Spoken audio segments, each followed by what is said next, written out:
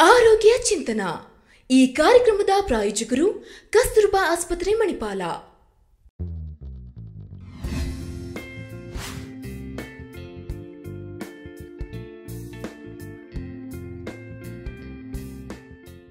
ನಮಸ್ಕಾರ ವೀಕ್ಷಕರೇ, ಕಸ್ತೂರ್ಬಾ ಆಸ್ಪತ್ರೆ, ಮಣಿಪಾಲ್ ಅರ್ಪಿಸುವ ಆರೋಗ್ಯ ಚಿಂತನಾ ಕಾರ್ಯಕ್ರಮಕ್ಕೆ ತಮಗೆಲ್ಲರಿಗೂ ಕೂಡ ಪ್ರೀತಿಯ ಸ್ವಾಗತ.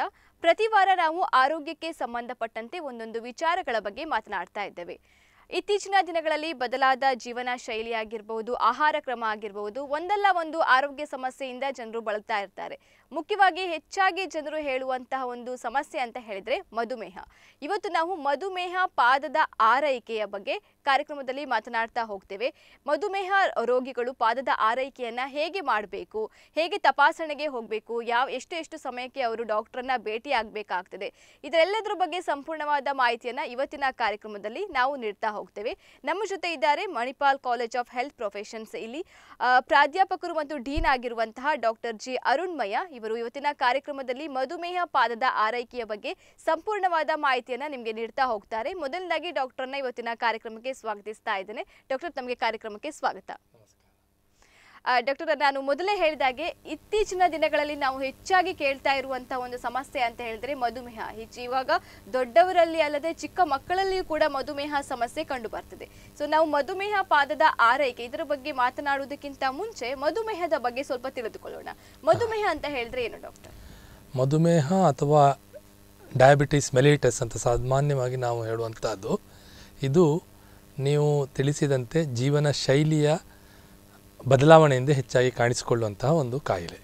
ಇದನ್ನು ನಾವು ನಾನ್ ಕಮ್ಯುನಿಕೇಬಲ್ ಡಿಸೀಸ್ ಅಂತ ಕೂಡ ಹೇಳ್ತೇವೆ ಅಥವಾ ಲೈಫ್ ಸ್ಟೈಲ್ ಡಿಸೀಸ್ ಅಂತ ಕೂಡ ಹೇಳ್ತೇವೆ. ಲೈಫ್ ಸ್ಟೈಲ್ ಡಿಸೀಸ್ ಅಂತ ಹೇಳಿದರೆ ಮುಖ್ಯವಾಗಿ ಜೀವನದ ಕ್ರಮದಲ್ಲಿ ಏನಾದರೂ ಬದಲಾವಣೆ ಆದಾಗ ಆರ್ ಆಹಾರ ಇರ್ಬೋದು, ವ್ಯಾಯಾಮದಲ್ಲಿ ಏನಾದರೂ ಕಡಿಮೆ ಇದರಲ್ಲಿ ಆಗುವಂಥದ್ದು, ಹೆಚ್ಚಿನ ಮಾನಸಿಕ ಒತ್ತಡ, ಇದೆಲ್ಲವೂ ಸಾಮಾನ್ಯವಾಗಿ ಈ ಒಂದು ಜೀವನ ಶೈಲಿಯ ಬದಲಾವಣೆಯ ಬೇರೆ ಬೇರೆ ಕ್ರಮ ಇದರಿಂದ ಮಧುಮೇಹ ಹೆಚ್ಚಾಗಿ ಕಾಣಿಸಿಕೊಳ್ತದೆ. ಮಧುಮೇಹದಲ್ಲಿ ಕೂಡ ಎರಡು ವಿಧಾನಗಳನ್ನು ನಾವು ಸಾಮಾನ್ಯವಾಗಿ ನಾಲ್ಕು ವಿಧಾನಗಳಂತ ಹೇಳ್ತೇವೆ. Type one type two gestational diabetes ಅಥವಾ ಡಯಾಬಿಟೀಸ್ ವಿತ್ ಅದರ್ ಕಾಸಸ್ ಅಂತ. ಇನ್ಫೆಕ್ಷನ್ಸ್ ಇರ್ಬೋದು ಬೇರೆ ರೀತಿಯ ಕಾರಣಗಳಿಂದ ಮಧುಮೇಹ ಬರ್ತದೆ. ಓಕೆ ಇಂಥ ಕಾರಣಗಳಿಂದ ಮಧುಮೇಹ ಕಂಡು ಬರ್ತದೆ. ಡಾಕ್ಟರ್ ಇನ್ನು ಈ ಮಧುಮೇಹದಿಂದ ಏನೆಲ್ಲ ತೊಂದರೆಗಳು ಉಂಟಾಗ್ತದೆ ಅಂತ? ಮುಖ್ಯವಾಗಿ ಮಧುಮೇಹದಿಂದ ರಕ್ತದ ಶುಗರಿನ ಅಂಶವನ್ನು ಬ್ಲಡ್ ಗ್ಲೂಕೋಸ್ ಲೆವೆಲ್ ಅಂತ ಹೇಳ್ತೇವೆ, ಅದನ್ನು ಸಾಮಾನ್ಯವಾಗಿ ರೋಗಿಗಳು ಹಿಡಿತದಲ್ಲಿ ಇಟ್ಕೊಳ್ಳದೇ ಇದ್ದರೆ ಅದು ದೇಹದ ಬೇರೆ ಬೇರೆ ಅಂಗಾಂಗಗಳಿಗೆ ಹೆಚ್ಚಿನ ತೊಂದರೆಯನ್ನು ಕೊಡ್ತದೆ. ಅದರಲ್ಲಿ ಎರಡು ವಿಧದ ಮುಖ್ಯವಾಗಿ ರಕ್ತನಾಳಕ್ಕೆ ಸಂಬಂಧಪಟ್ಟದ್ದು ಹೇಳೋದಾದರೆ ಮೈಕ್ರೋವ್ಯಾಸ್ಕ್ಯುಲರ್ ಮತ್ತು ಮ್ಯಾಕ್ರೋವ್ಯಾಸ್ಕ್ಯುಲರ್ ಕಾಂಪ್ಲಿಕೇಶನ್ಸ್ ಅಂತ ಹೇಳ್ತೇವೆ. ಸಣ್ಣ ನರಗಳಿಗೆ ಬರುವಂತಹ ಒಂದು ತೊಂದರೆ. ಅದು ಈ ಸಣ್ಣ ನರದ ತೊಂದರೆಯಿಂದಾಗಿ ಪಾದಕ್ಕೆ ಹೆಚ್ಚಿನ ತೊಂದರೆ ಬರ್ತದೆ, ಅದನ್ನು ನಾವು ಸಾಮಾನ್ಯವಾಗಿ ನ್ಯೂರೋಪತಿ ಅಂತ ಹೇಳ್ತೇವೆ. ಕಿಡ್ನಿಗೆ ಸಂಬಂಧ ತೊಂದರೆ ಬಂದಲ್ಲಿ ಅದನ್ನು ನೆಫ್ರೋಪತಿ ಅಂತ ಹೇಳ್ತೇವೆ.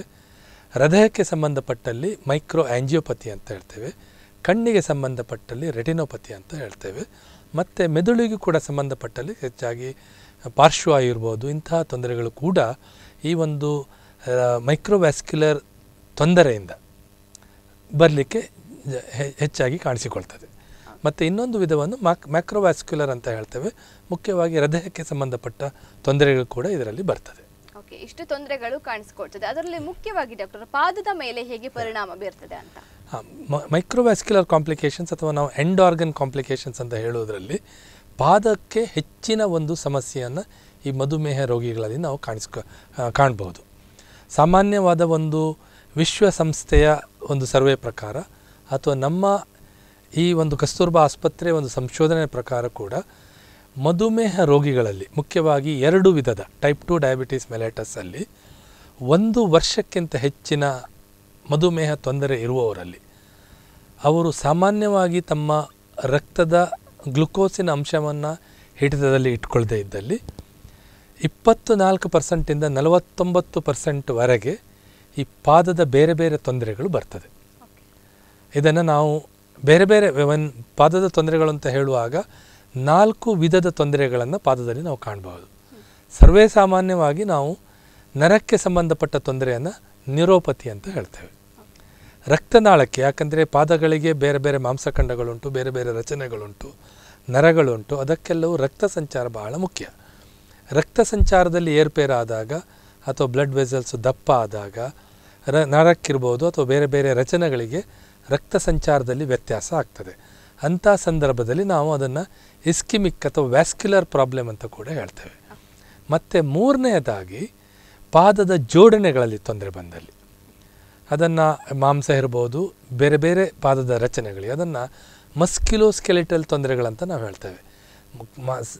ನಾಲ್ಕನೇ ವಿಧಾನ ಬಯೋಮೆಕ್ಯಾನಿಕ್ಸ್ ಅಂತಂತ ಹೇಳಿದರೆ ನಮ್ಮ ಪಾದ ನಾವು ನಿಲ್ಲುವಾಗ, ನಡೆದಾಡುವಾಗ ಬೇರೆ ಬೇರೆ ಕೆಲಸಗಳನ್ನು ಮಾಡುವಾಗ, ಓಡುವಾಗ ಅಥವಾ ಬೇರೆ ಎಲ್ಲ ಕೆಲಸಗಳನ್ನು ಮಾಡುವಾಗ ಪಾದದ ಜೋಡಣೆಗೆ ಹೆಚ್ಚಿನ ಒಂದು ಒತ್ತಡ ಬೀಳ್ತದೆ. ಆಗ ಈ ಬಯೋಮೆಕ್ಯಾನಿಕಲ್ ಕಾಂಪೊನೆಂಟ್ ಅಂತೇಳಿ ಮೂಮೆಂಟ್ ಆಗುವಂಥ ಸಂದರ್ಭದಲ್ಲಿ ಪಾದದ ಬೇರೆ ಬೇರೆ ಜೋಡಣೆಗಳಿಗೆ ಹೆಚ್ಚಿನ ತೊಂದರೆ ಬರ್ತದೆ. ಇದನ್ನು ಬಯೋಮೆಕ್ಯಾನಿಕಲ್ ರಿಲೇಟೆಡ್ ಚೇಂಜಸ್ ಅಂತ ಕೂಡ ಹೇಳ್ತೇವೆ. ಈ ನಾಲ್ಕು ಸಾಮಾನ್ಯ ತೊಂದರೆಗಳು ಮಧುಮೇಹ ಪಾದದ ರೋಗಿಗಳಲ್ಲಿ ಅಥವಾ ಮಧುಮೇಹ ಪಾದದ ತೊಂದರೆ ಇರುವವರಲ್ಲಿ ಈ ಹೆಚ್ಚಿನ ಸಮಸ್ಯೆಗಳು ಕಾಣಿಕೊಳ್ತದೆ ಕಾಣಿಸಿಕೊಳ್ತದೆ. ಓಕೆ ಡಾಕ್ಟರ್ ಈಗ ಮಧುಮೇಹ ಇರುವವರಲ್ಲಿ ಈಗ ಸಪೋಸ್ ಈಗ ನೂರು ಜನರಲ್ಲಿ ಮಧುಮೇಹ ಇದ್ದರೆ ಸೊ ಅದರಲ್ಲಿ ಎಷ್ಟು ಜನರಿಗೆ ಮಧುಮೇಹ ಪಾದದ ತೊಂದರೆಗಳು ಬರುವಂತ ಚಾನ್ಸಸ್ ಇರ್ತದೆ? ನಾನು ಆಗ ಆರಂಭದಲ್ಲಿ ತಿಳಿಸಿದ ಹಾಗೆ ಸಾಧಾರಣ ಸರ್ವೆ ಪ್ರಕಾರ ಇಪ್ಪತ್ನಾಲ್ಕು ಪರ್ಸೆಂಟಿಂದ ನಲವತ್ತೊಂಬತ್ತು ಪರ್ಸೆಂಟ್ವರೆಗೆ ವ್ಯಕ್ತಿ ಮಧುಮೇಹ ಎರಡು ಟೈಪ್ ಟು ಡಯಾಬಿಟಿಸ್ ಮೆಲೆಟಸ್ಸಿನ ವ್ಯಕ್ತಿಗಳಲ್ಲಿ ಪಾದದ ತೊಂದರೆ ಬರುವಂಥ ಇದು ಜಾಸ್ತಿ. ಜಾಸ್ತಿ ಜಾಸ್ತಿ ಇರ್ತದೆ. ಓಕೆ. ಅದೇ ರೀತಿ ಡಾಕ್ಟರ್ ಇನ್ನು ಈ ಮಧುಮೇಹಿಗಳು ಪಾದದ ತಪಾಸಣೆಗೆ ಅವರು ಯಾವ ಕ್ರಮಗಳನ್ನೆಲ್ಲ ಅನುಸರಿಸಬೇಕಾಗ್ತದೆ ಆ ತಪಾಸಣೆಗೋಸ್ಕರ? ಮಧುಮೇಹ ರೋಗಿಗಳಲ್ಲಿ ನಮ್ಮ ಇಂಟರ್ನ್ಯಾಷನಲ್ ಡಯಾಬಿಟಿಸ್ ಫೆಡರೇಷನ್ ಅಂತ ಅಥವಾ I T I D F guidelines ಅಂತ ಹೇಳ್ತೇವೆ.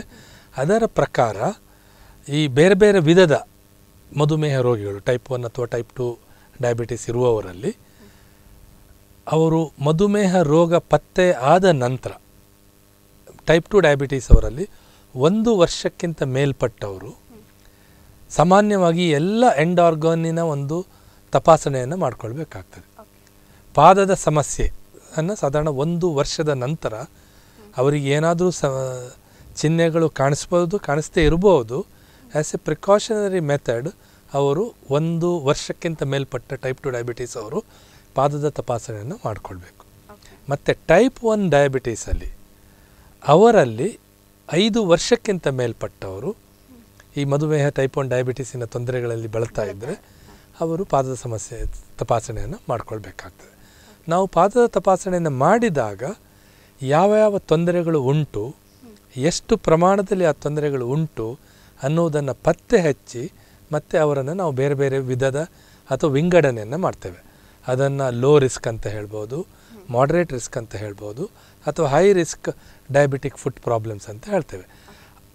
ಅವರಲ್ಲಿ ಮತ್ತೆ ನಾವು ಸಾಮಾನ್ಯವಾಗಿ ಈ ಟೈ ಲೋ ಮಾಡ್ರೇಟ್ ಅಥವಾ ಹೈ ರಿಸ್ಕ್ ಇರುವ ತೊಂದರೆ ಇರುವವರು ಎಷ್ಟು ಸಮಯಕ್ಕೊಮ್ಮೆ ಪಾದದ ತಪಾಸಣೆಗೆ ಬರಬೇಕು ಅಂತ ನಾವು ಅವರಿಗೆ ಸೂಕ್ತ ಮಾಹಿತಿಯನ್ನು ಕೊಡ್ತೇವೆ. ಓಕೆ. ಡಾಕ್ಟರ್ ಇದು ಸಿಂಪ್ಟಮ್ಸ್ ಏನಾದರೂ ಗೊತ್ತಾಗ್ತದಾ ಇದು ಬಹಳ ಮುಖ್ಯವಾದ ಪ್ರಶ್ನೆ. ಓಕೆ ಅವರು ಇದನ್ನ ಗುರುತಿಸಬೇಕಾಗ್ತದೆ ಗುರುತಿಸಿದ ನಂತರ ಅವರು ತಡ ಮಾಡದೆ ಡಾಕ್ಟರ್ ಹತ್ರ ಹೋಗ್ಬೇಕು. ಮಧುಮೇಹ ಪಾದದ ಸಮಸ್ಯೆಗಳು ಮೂರು ರೀತಿಯ ತೊಂದರೆಗಳನ್ನು ನಾವು ಹೇಳ್ಬೋದು. ಒಂದನೇದಾಗಿ ನ್ಯೂರೋಪತಿಕ್ ತೊಂದರೆ ವ್ಯಾಸ್ಕ್ಯುಲರ್ ಅಥವಾ ರಕ್ತನಾಳಕ್ಕೆ ಬ- ಇರುವಂಥ ತೊಂದರೆ ಮೂರನೇದಾಗಿ ಮಸ್ಕ್ಯುಲೋಸ್ಕೆಲೆಟಲ್ ಅಥವಾ ಸ್ಟ್ರಕ್ಚರಲ್ ತೊಂದರೆ. ನ್ಯೂರೋಪತಿಯ ತೊಂದರೆಗಳಲ್ಲಿ ಆರಂಭದಲ್ಲಿ ಅವರಿಗೆ ಸಾಮಾನ್ಯವಾಗಿ ಉರಿ ಬರುವಂಥದ್ದಂತ ಹೇಳ್ತಾರೆ. ಅಥವಾ ಇರುವೆ ಹರಿದ ಹಾಗೆ ಆಗೋದಂತ ನಮ್ನೆಸ್ ಅಂತ ಹೇಳ್ತೇವೆ. ಅಥವಾ ಬರ್ನಿಂಗ್ ಸೆನ್ಸೇಷನ್ಸ್ ಅಂತ ಹೇಳ್ತೇವೆ. ಇದು ಅವರ ಎಷ್ಟು ಪ್ರಮಾಣದಲ್ಲಿ ನರಕ್ಕೆ ತೊಂದರೆ ಆಗಿದೆ ಅದರ ಪ್ರಕಾರ ಅವರಿಗೆ ಒಂದು ಇಪ್ಪತ್ನಾಲ್ಕು ಗಂಟೆಯಲ್ಲಿ ಆ ಒಂದು ಸಮಸ್ಯೆಯ ತೊ- ಹೆಚ್ಚು ಸಮಯದಲ್ಲಿ ಕಾಣಿಸಿಕೊಳ್ತದೆ. ಕೆಲವರಲ್ಲಿ ಈಗ ನ್ಯೂರೋಪತಿ ತುಂಬ ಎಫೆಕ್ಟ್ ಆಗಿದೆ. ಅವರು ಥ್ರೂ ಔಟ್ ದ ಡೇ ಹೇಳ್ತಾರೆ ನನಗೆ ಆ ಬರ್ನಿಂಗ್ ಸೆನ್ಸೇಷನ್ ಕಡಿಮೆ ಆಗೋದಿಲ್ಲ ಅಂತ. ಕೆಲವರು ಹೇಳ್ತಾರೆ ನನಗೆ ಒಮ್ಮೊಮ್ಮೆ ಒಂದು ಎರಡು ಗಂಟೆಗೊಮ್ಮೆ ಬರ್ತದೆ ಅಥವಾ ನಾನು ನಡೆದಾಡ್ಲಿಕ್ಕೆ ಬಂದಾಗ ಬರ್ತದೆ. ಮತ್ತು ಕೆಲವು ಸಮಯ ಕಾಣಿಸಿಕೊಳ್ಳೋದಿಲ್ಲ ಅಂತ ಹೇಳ್ತಾರೆ. ಮತ್ತು ಕೆಲವರು ರಾತ್ರಿ ಮಲಗಿದ ನಂತರ ನನಗೆ ಈ ಪಾದದಲ್ಲಿ ಇರುವೆ ಹರಿಯುವಂಥದ್ದು ಬರ್ನಿಂಗ್ ಸೆನ್ಸೇಷನ್ ಕಾಣಿಸಿಕೊಳ್ತದೆ ಅಂತ ಹೇಳ್ತಾರೆ. ಇದು ಸಮ ಒಂದು ಮುಖ್ಯವಾದ ಒಂದು ಚಿಹ್ನೆ ಅಥವಾ ಲಕ್ಷಣ ಅಂತ ಹೇಳ್ಬೋದು. ಪಾದದಲ್ಲಿ ನೋವು ಬರುವಂಥದ್ದು ಬರ್ನಿಂಗ್ ಸೆನ್ಸೇಷನ್ ಬರುವಂಥದ್ದು ಅಥವಾ ಇರುವೆ ಹರಿದಾಗಿ ಅಥವಾ ಹತ್ತಿ ಮೇಲೆ ನಡೆದ ಹಾಗೆ ಅಂತ ಹೇಳ್ತಾರೆ. ಅವರಿಗೆ ನಡೆಯುವಂಥದ್ದು ಸ್ಪ ಸ್ಪರ್ಶಜ್ಞಾನ ಕಡಿಮೆ ಇರುವುದರಿಂದ ಅವರಿಗೆ ಗೊತ್ತಾಗೋದಿಲ್ಲ ಎಲ್ಲಿ ನಡೀತಾ ಇದ್ದೇನೆ ಅಂತ ಇದು ಒಂದು ರೀತಿಯದ್ದು. ಎರಡನೇದಾಗಿ, ಅವರು ಆರಂಭದಲ್ಲಿ ತಪಾಸಣೆ ಮಾಡಿದೆ ಅವರಿಗೆ ಆ ನೋವಿನ ತೊಂದರೆ ಈ ಮಧುಮೇಹದಿಂದ ಅಂತ ಅವರು ಕೆಲವೊಮ್ಮೆ ಎಣಿಸ್ಕೊಳ್ಳೋದಿಲ್ಲ ಸಾಮಾನ್ಯವಾಗಿ ಪಾದದ ತೊಂದರೆ ಇರ್ತದೆ ಏಜ್ ಇರ್ಬೋದು ಇಂಥ ರೀತಿಯಲ್ಲಿ ಅವರು ಅದನ್ನು ಇಂಟರ್ಪ್ರೆಟ್ ಮಾಡ್ತಾರೆ. ಅವರು ಕೆಲವದು ಆ ಮುಂದೆ ಬರೆದ್ರೆ ಚಪ್ಪಲಿ ಜಾರಿದು ಗೊತ್ತಾಗೋದಿಲ್ಲ ಸಂಸಾರಿ ನ್ಯೂರೋಪತಿ ಬಂದರೆ ಚಪ್ಪಲಿ ಜಾರಿದು ಗೊತ್ತಾಗೋದಿಲ್ಲ ಸಾಮಾನ್ಯವಾಗಿ ಹೇಳ್ತೇನೆ ಸ್ಲಿಪ್ಪರ್ ಹಾಕಿ ನಡಿತೇನೆ ಜಾರಿದ್ದು ನನಗೆ ಗೊತ್ತಾಗೋದಿಲ್ಲ ಅಂತ. ಮತ್ತು ಮೂರನೇದಾಗಿ ಕೆಲವರು ಏನು ನೋವು ಇರುವುದಿಲ್ಲ ನೋವು ಇರೋದಿಲ್ಲ ಅಂತ ಹೇಳಿದ್ರೆ ಸಮಸ್ಯೆ ಇಲ್ಲ ಅಂತಲ್ಲ. ಕೆಲವರಲ್ಲಿ ಕಂಪ್ಲೀಟ್ ಆ ನ್ಯೂರೋಪತಿ ಸೆನ್ಸರಿ ನ್ಯೂರೋಪತಿ ಬಂದರೆ ಅವರಿಗೆ ಆ ನೋವಿನ ಸಂಭವ ಇದೇ ಗೊತ್ತಾಗೋದಿಲ್ಲ. ನೀವು ಮುಟ್ಟಿದ್ರೂ ಗೊತ್ತಾಗೋದಿಲ್ಲ ಬಿಸಿ ತ ಹಾಕಿದ್ರೂ ಗೊತ್ತಾಗೋದಿಲ್ಲ ಯಾವ ಒಂದು ಆ್ಯಕ್ಟಿವಿಟಿ ಅಥವಾ ಚಾಲನೆಯಲ್ಲಿ ಕೂಡ ಅವರಿಗೆ ಆ ನೋವಿನ ಸಮಸ್ಯೆ ಬರೋದಿಲ್ಲ. ಇದು ಮೂರು ವಿಧ. ಒಂದು ಹೆಚ್ಚಿನಾಗಿ ನ್ಯೂರೋ ನ್ಯೂರೋಪತಿಯ ನೋವಿಂದ ಸ್ಟಾರ್ಟ್ ಆಗ್ತದೆ. ಚ ಚಪ್ಪಲ್ ತೊಂದರೆ ಬರ್ತದೆ. ಕೆಲವರಿಗೆ ಎಸಿಮ್ಟಮ್ಯಾಟಿಕ್ ಅಂತ ಹೇಳ್ತೇವೆ. ಬಟ್ ಅದು ನ್ಯೂರೋಪತಿಯಿಂದ ಕೂಡ ನೋವಿನ ಸಮ ಇದು ಕಂಪ್ಲೀಟ್ ನರ್ವ ಸೆನ್ಸರಿ ನರ್ವಿಗೆ ತೊಂದರೆ ಆದರೆ ಅವರಿಗೆ ನೋವು ಗೊತ್ತಾಗೋದಿಲ್ಲ. ಮತ್ತು ವ್ಯಾಸ್ಕ್ಯುಲರ್ ಅಥವಾ ರಕ್ತನಾಳಕ್ಕೆ ಸಂಬಂಧಪಟ್ಟಲ್ಲಿ ರೆಸ್ಟ್ ಪೈನ್ ಅಂತ ಹೇಳ್ತೇವೆ. ರೆಸ್ಟ್ ಪೈನ್ ಅಂತ ಹೇಳಿದರೆ ಅವರಿಗೆ ಎಲ್ಲಿಯಾದರೂ ಕುಳಿತುಕೊಂಡಾಗ ಕಾಲು ಕೆಳಗಿಟ್ಟಾಗ ಕೆಲವರಿಗೆ ನೋವು ಬರ್ತದೆ. ಅದು ಸಾಮಾನ್ಯವಾಗಿ ವೀನಸ್ ರಿಲೇಟೆಡ್ ಇದರಲ್ಲಿ ತೊಂದರೆ ಇದ್ದರೆ ಪಾದ ಕೆಳಗಿಟ್ಟ ಕೂಡಲೇ ಅವರಿಗೆ ನೋವು ಜಾಸ್ತಿ ಆಗ್ತದೆ. ಆವಾಗ ಎತ್ತರದಲ್ಲಿಟ್ಟರೆ ಅವ್ರು ನಾವು ನೋವು ಕಡಿಮೆ ಬರ್ತದೆ ಹೇಳ್ತಾರೆ. ಕೆಲವರಲ್ಲಿ ಪಾದ ಎತ್ತರ ಇಟ್ಟರೆ ಅದು ಆರ್ಟೀರಿಯಲ್ ರಿಲೇಟೆಡ್ ಎಲಿವೇಷನ್ ಮಾಡಿದ ಕೂಡಲೇ ನೋವು ಹೇಳ್ತಾರೆ. ಅಥವಾ ಕಾಲು ಕೆಳಗಿಟ್ಟರೆ ನನಗೆ ಸ್ವಲ್ಪ ರಿಲೀಫ್ ಇರ್ತದೆ ಅಂತೇಳಿ. ಇದು ರಕ್ತನಾಳದಲ್ಲಿ ಕೂಡ ಅದು ವೀನಸ್ ರಿಲೇಟೆಡ್ ಅಥವಾ ಆರ್ಟೀರಿಯಲ್ ರಿಲೇಟೆಡ್ ತೊಂದರೆ ಇದ್ದರೆ ಈ ರೀತಿಯ ಕ ಸಮಸ್ಯೆಗಳು ಕಾಣಿಸ್ಕೊಳ್ತದೆ. ಮತ್ತು ಇಂಟರ್ಮಿಟೆಂಟ್ ಕ್ಲಾಡಿಕೇಶನ್ ಅಂತ ಹೇಳ್ತೇವೆ. ಅಂದರೆ ಒಂದು ಹತ್ತು ಹೆಜ್ಜೆ ನಡೀತಾರೆ. ಅದಾದ ನಂತರ ನೋವು ಬರ್ತದೆ. ಮತ್ತು ರೆಸ್ಟ್ ತೊಗೊಂಡ್ರೆ ನೋವು ಕಡಿಮೆ ಆಗ್ತದೆ. ಪುನಃ ಆ ಪುನಃ ನಡೆಯುವಾಗ ನೋವು ಬರ್ತದೆ. ಅದು ಡಿಸ್ಟೆನ್ಸು ಆ ರಕ್ತನಾಳಕ್ಕೆ ಎಷ್ಟು ತೊಂದರೆ ಬಂದಿದೆ ಅದರ ಪ್ರಕಾರ ಅವರಿಗೆ ನಡೆದಾಡ್ಲಿಕ್ಕೆ ಆಗ್ತದೆ ಕೆಲವರು ಅರ್ಧ ಕ ಮೈಲ್ ನಡೆದ್ರೆ ನಾನು ತೊಂದರೆ ಬರುವುದಿಲ್ಲ ಹೇಳ್ತಾರೆ. ಕೆಲವರು ಒಂದು ಹಂಡ್ರೆಡ್ ಮೀಟರ್ಸ್ ಬಂದರೆ ನನಗೆ ನೋವು ಬರ್ತದೆ ಹೇಳ್ತಾರೆ. ಇದು ಇಂಟರ್ಮಿಟೆಂಟ್ ಕ್ಲಾಡಿಕೇಶನ್ ಅಂತ ಹೇಳ್ತೇವೆ. ಮತ್ತೊಂದು ನಾನು ಮುಖ್ಯವಾಗಿ ಹೇಳಿದ ಹಾಗೆ ರೆಸ್ಟ್ ಪೈನ್ ಥ್ರೂಔಟ್ ದ ನೈಟಲ್ಲಿ ಮಲಗಿದಾಗ ಕೂಡ ಪಾದದಲ್ಲಿ, ಬೆರಳಲ್ಲಿ ಎಲ್ಲ ನೋವು ಬಂತಂತ ಹೇಳಿದರೆ ಅದು ವ್ಯಾಸ್ಕ್ಯುಲರ್ ರಿಲೇಟೆಡ್ ತೊಂದರೆ. ಮತ್ತು ಮೂರನೇದಾಗಿ ಮಾಂಸಖಂಡಗಳಿಗೆ ರಿಲೇಟೆಡ್ ಸ್ಟ್ರಕ್ಚರಲ್ ಚೇಂಜ್ ಅಂತ. ಬೆರಳುಗಳ ಎಲ್ಲ ಮಡ್ಚಿ ಇರ್ತದೆ. ಅಥವಾ ಈ ಪಾದದ ಆರ್ಚ್ ಅಂತ ಹೇಳ್ತೇವೆ. ಅದರಲ್ಲಿ ಸಮಸ್ಯೆ, ಅದು ಆರ್ಚ್ ಕಂಪ್ಲೀಟ್ ಒಂದು ಹೈ ಆರ್ಚ್ ಆಗಿರ್ತದೆ ಅಥವಾ ಕಂಪ್ಲೀಟ್ ಆರ್ಚ್ ಲಾಸ್ ಆಗಿರ್ತದೆ. ಅಥವಾ ಈ ಸಣ್ಣ ಸಣ್ಣ ಮಸಲ್ಸ್ ಇರ್ತದೆ ಇಂಟ್ರೆನ್ಸಿಕ್ ಮಸಲ್ಸ್ ಅಂತ. ಅದರ ವೇಸ್ಟಿಂಗ್ ಇರುವುದರಿಂದ ಅವರಿಗೆ ನಡೆದಾಡುವಾಗ ಗ್ರಿಪ್ ಇರುವುದಿಲ್ಲ.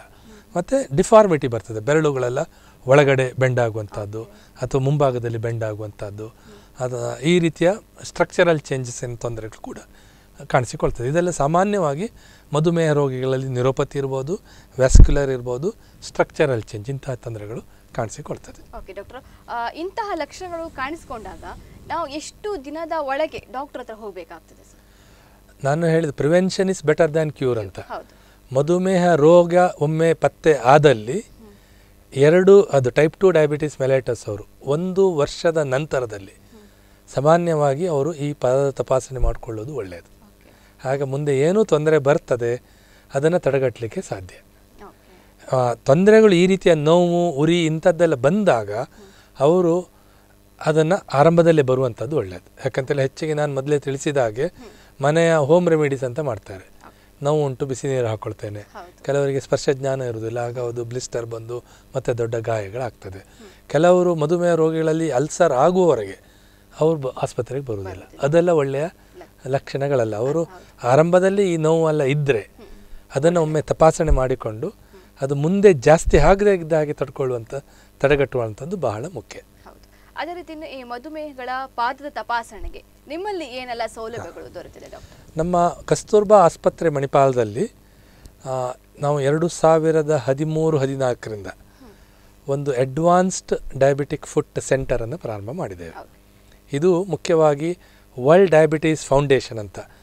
ವಿಶ್ವ ಮಧುಮೇಹ ಪ್ರತಿಷ್ಠಾನ ಹಾಗೂ ನಮ್ಮ ಕಸ್ತೂರ್ಬಾ ಆಸ್ಪತ್ರೆ, Manipal academy of higher education ಇವರ ಒಂದು ಸಹಯೋಗದೊಂದಿಗೆ ಈ ಒಂದು ಸಂಶೋಧನೆ ಅನ್ನು ನಾವು ಪ್ರಾರಂಭ ಮಾಡಿದ್ದೆವು ಆ ಸಂಶೋಧನೆಯ ಒಂದು ಔಟ್ಕಮ್ ಆಗಿ ಈ ಒಂದು ಸೆಂಟರ್ಸನ್ನು ನಾವು ಪ್ರಾರಂಭ ಮಾಡಿದ್ದೇವೆ. ನಮ್ಮ ಸೆಂಟರಲ್ಲಿ ಎಲ್ಲ ರೀತಿಯ ಒಂದು ತಪಾಸಣೆಯ ಸೌಲಭ್ಯಗಳು ಉಂಟು.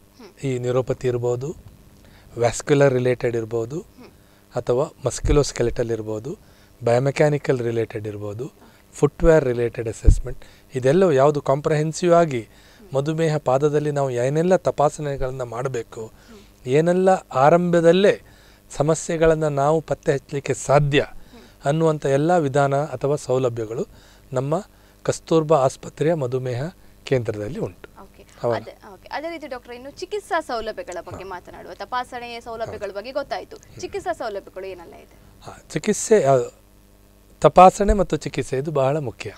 ಪ್ರಿವೆನ್ಷನ್ ಯಾಕಂದರೆ ಯಾ ನಾನು ಈ ಮಾತನ್ನು ಯಾಕೆ ಹೇಳ್ತಾ ಇದ್ದೇನೆ ಅಂತ ಹೇಳಿದರೆ ವಿಶ್ವ ಆರೋಗ್ಯ ಸಂಸ್ಥೆಯ ಒಂದು ಸಮೀಕ್ಷೆಯ ಪ್ರಕಾರ ಭಾರತ ವಿಶ್ವದಲ್ಲೇ ಮಧುಮೇಹದ ರಾಜಧಾನಿ. ಅದನ್ನು ನಾವು ಈಗ ಸರಿಯಾಗಿ ತಡೆಗಟ್ಟದಿದ್ದರೆ ಆರಂಭಿಕವಾದ ಒಂದು ಚಿಕಿತ್ಸೆ ಅಥವಾ ತಪಾಸಣೆ ಅಥವಾ ಚಿಕಿತ್ಸೆಯನ್ನು ಕೊಡದೇ ಇದ್ದರೆ ಮುಂದೆ ದೊಡ್ಡ ದೊಡ್ಡ ತಮ ಸಮಸ್ಯೆಗಳು ಬರ್ತದೆ. ಅದು ಮುಖ್ಯವಾಗಿ ಮಧುಮೇಹ ರೋಗಿಗಳಲ್ಲಿ ಮಧುಮೇಹ ಪಾದದ ಸಮಸ್ಯೆ, ನಾನು ಹೇಳಿದ ಹಾಗೆ ನಲವತ್ತೊಂಬತ್ತು ಪರ್ಸೆಂಟ್ವರೆಗೆ ಈ ತೊಂದರೆ ಬರ್ತದೆ. ನ್ಯೂರೋಪತಿ ಅನ್ನೋದು ಬಹಳ ದೊಡ್ಡ ಸಮಸ್ಯೆ.